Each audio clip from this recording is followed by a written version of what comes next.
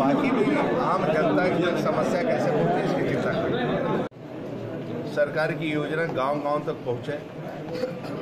इसलिए मंत्रियों का अपना कार्यक्रम होता है। लेकिन आज व्यक्तिगत प्रवास के कारण आए हैं। यहाँ संगठन के कार्यकर्ताओं ने कार्यक्रम लिया था जिसके तहत मैं आज यहाँ आया। सर ज़िले में चल रहा है कि औरैया का जो डिपो दिव्यापुर आया क्या सच्चाई है? औरैया का बस स्टेशन अपने जगह रहेगा। कोई प्रॉब्लम नहीं बहुत अच्छा बस स्टेशन बनेगा। और सर दिव्यापुर में? दिव्यापुर में डिपो बनेगा सुंदर। दिव्यापुर में डिपो होगा? हाँ और सर अवैध खनन पे सर क्या कार्रवाई चल रही है? अवैध खनन पे जो सर ओवरलोडिंग चल रही है उस पर क्या कार्रवाई हो रही है? नहीं अवैध खनन कहीं नहीं चल रही राज्य के अंदर। ये कोई सपा का शासन थोड़ा है कि अवैध खनन चले?